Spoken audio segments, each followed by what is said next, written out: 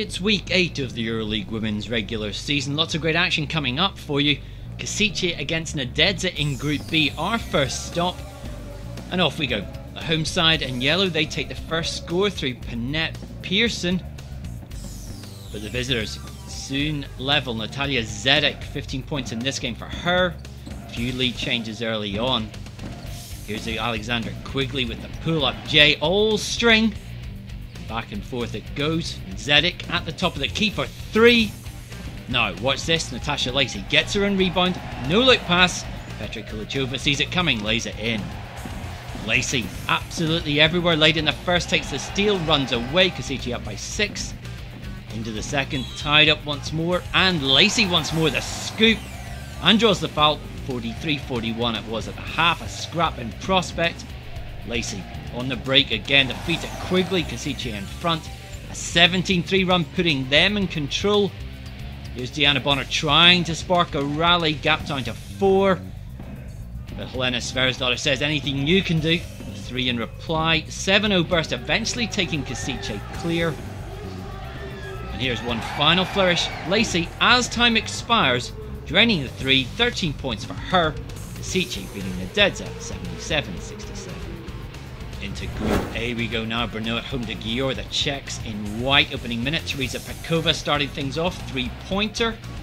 Quick response from the Hungarians. Nora Nagy finding room in the lane. But Brno with a hot hand all night. 9 for 13 from outside the arc. Teams though level after the first. Nagy key for Győr. A team high 14. And a nice spin move but the host just pulling away up 11 at the break. Veronica Vikova continuing the barrage in the second half. Farhiya Abdi with a game high 22 for Brno. No way back for Győr. Brno with their best display so far. They took this 86 61. Let's stay in Group A. Wisla hosting Bourges, the hosts in white, and Tina Charles again unstoppable. This week's MVP. Bourges trying to counteract. Charles, though, just a force Wisla 98 up in the first quarter. The visitors slicing that deficit in the second. Here's Alana Bird, the jumper. 20 points for her. 9 points in it at half time. Bourges in need of a rally. But Wisla, plenty of firepower. And of course, the supremacy of Charles inside.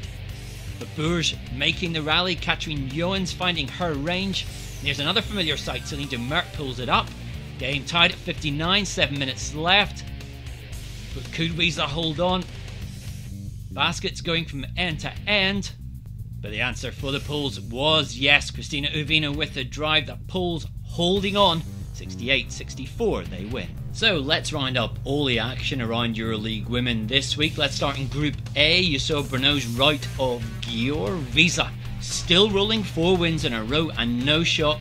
Tina Charles, another MVP like performance 38 points, 15 boards as they held off Bourges by four. And a terrific battle in Turkey where Spartak left it late to grab a win over Tarsus. Candice Dupree with 27 points and 10 rebounds. So there's the table. Spartak on top and 6 and 1. Bourges still second after that loss. Tarsus a little unlucky to be stuck on just one win.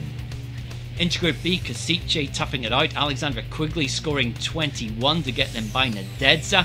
Arras Misery continues. They lost by 19 to Sopron. And Show still on track for the next round with a win over Targoviste. And that result sees them move into top spot above Kosice on 6 and 1. Sopron picking up just their second win to stay in the hunt. Finally, let's head into Group C. Ekaterinburg with a week off. So keeping up their chase, a 27 point win over Zagreb. A double double there for Sancho Lyttle. Mondeville scoring the last four points of the game to steal a narrow victory over Polkowice.